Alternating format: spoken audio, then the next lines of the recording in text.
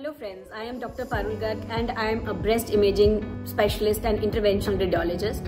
So today I just want to explain about a small procedure which is breast biopsy to diagnose the breast lumps. There are many myths related to breast biopsy. Uh, people are afraid of getting the breast biopsy and they have many things in mind for which they don't go ahead with the breast biopsy. So let me talk about the breast cancer first. We all know that breast cancer is very prevalent in our country and people are women are dying because of uh, this breast cancer because their diagnosis is delayed. Now let us come to the point of breast biopsy. What is breast biopsy? Breast biopsy is a small procedure which is of 10 minutes done under local anesthesia under ultrasound guidance to take out small bits of tissue from any lump which a woman has in the breast and then it is sent for pathology for the diagnosis. Now, whenever a woman comes with a lump, usually the first step is ultrasound or mammography, and after that, if a doctor feels that there is need for breast biopsy, patient is sent to us for taking out that bit of small tissue by the biopsy method.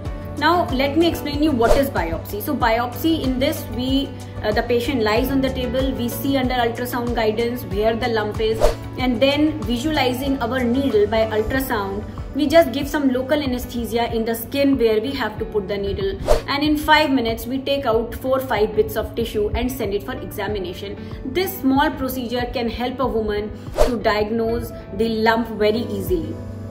However there are many myths which women or other people have and then the patients are misguided and they don't go ahead with, the biopsy and their treatment is delayed so what are the myths the myths are that First of all, it is very painful. Let me tell you, friends, it is not at all painful. We give local anesthesia, and it is just a small prick of a needle uh, which causes discomfort for a fraction of second, and then it is without any pain and then sometimes people feel that it will cause spread of cancer. So let me tell you there is no risk of spreading cancer with the needle. It is almost negligible and practically it does not happen.